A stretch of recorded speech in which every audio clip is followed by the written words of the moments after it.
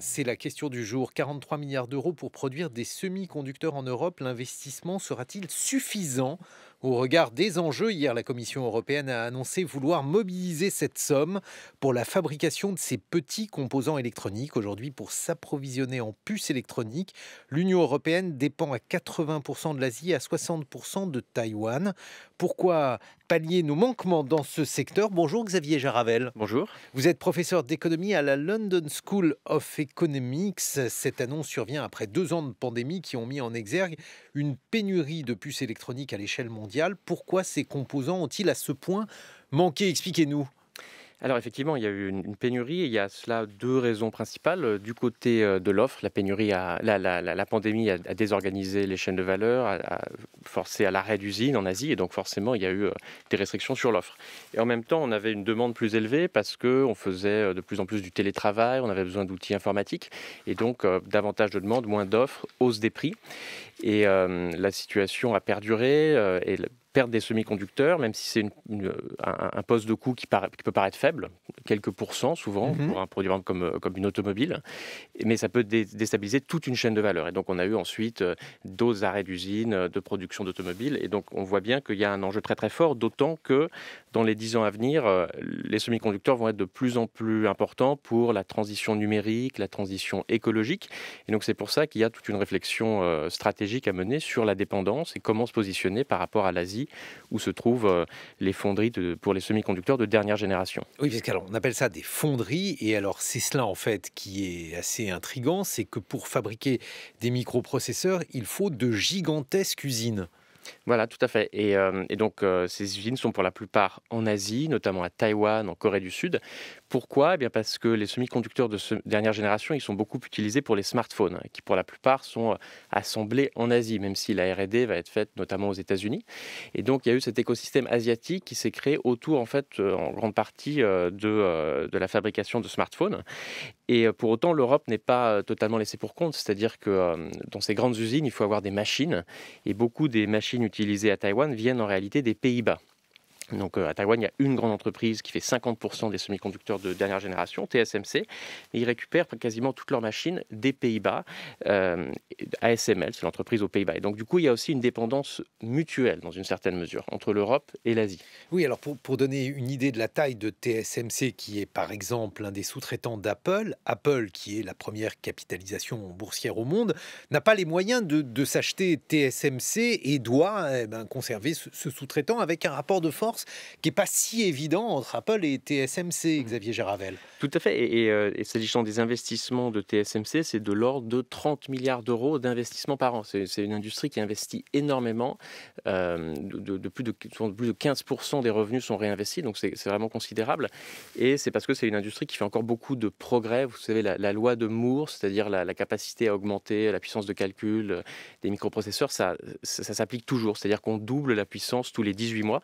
Et pour ça, il faut investir énormément, et ce qui donc rend difficile de rattraper un retard euh, euh, quand, on a déjà ce retard, comme c'est le cas pour l'Europe, s'agissant de la partie production, mais à nouveau pour la partie euh, d'autres parties de la chaîne de valeur, comme les machines utilisées pour la production, on est plutôt bien positionné. Bon, alors donc ça c'est au moins une bonne nouvelle, mais vous dites 30 milliards d'investissements par an pour une usine. Hein. On parle mhm. d'une usine. Euh, on laisse imaginer aux, auditeurs ce que ça veut dire d'avoir 43 milliards pour tout faire, y compris donc pour euh, poser la première pierre de l'usine pratiquement.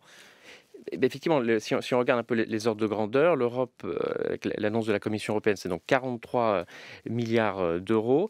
Si on compare ça avec les États-Unis, qui ont aussi annoncé un plan l'année dernière, les États-Unis ont, ont, annoncé 50 milliards de dollars. Donc c'est à peu près en fait la même chose. Et à l'inverse, effectivement, en Asie, il y a des chiffres beaucoup plus importants. TSMC, une seule entreprise, 30 milliards par an. Euh, et en Chine, on parle de 1400 milliards sur 5 ans. La Chine veut être, euh, va avoir 70% de sa production en, fait, en interne, dans le marché intérieur. Oui, parce que c'est un véritable enjeu aujourd'hui euh, de souveraineté économique, bien Tout à fait. Et le, Corée du Sud, 400 milliards d'euros sur, sur une dizaine d'années. Donc les, les chiffres sont, sont, sont, très importants. Donc on peut se demander, est-ce qu'effectivement on a une chance de, de rattraper, étant donné qu'on a un retard déjà acté et que par ailleurs on semble moins investir c'est une très bonne question, Xavier Charabel. Je vais vous la poser immédiatement. A-t-on une chance de rattraper notre retard? En réalité, le, il s'agit en fait de, de, créer, me semble-t-il, une situation de dépendance mutuelle et de, de ne pas trop se laisser se distancer. Donc on est déjà bien présent sur certaines parties de la, chaîne de valeur, comme les machines. Et donc là, on veut remonter un peu la pente s'agissant de la production pour les semi-conducteurs avant de toute dernière génération, les 2 à 5 nanomètres, euh, alors qu'aujourd'hui la France et l'Europe ne produisent pas euh, en deçà de 20 nanomètres. Mais il ne s'agira pas vraisemblablement euh, de reprendre toutes les parts de marché. L'objectif que l'Europe se fixe à 10 ans, c'est de passer de 10% de, de, parts de marché pour la production de semi-conducteurs à 20%. Et donc en fait, il s'agit de, euh, pas de prendre tout le marché, mais de se positionner un peu mieux pour ensuite pouvoir avoir un rapport de force où euh, c'est plus équilibré, de ne pas se laisser totalement distancer, sachant que euh, ces produits vont être de plus en plus demandés. Et donc c'est un, effort euh, quand même très très important. Alors de grandeur, ce qu'il va falloir faire x4 en termes de production, parce que le marché va doubler en 10 ans, et nous on veut doubler nos parts de marché.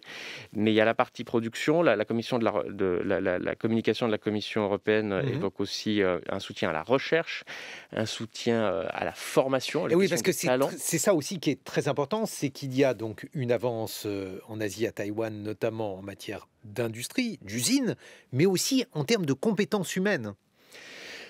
Oui, à, nouveau, euh, ça c'est une considération plus large sur euh, notamment l'évolution des, compétences en mathématiques. Euh, la Corée du Sud, la Chine, Taïwan sont très très bien classés dans tous les classements internationaux, mieux que l'Europe.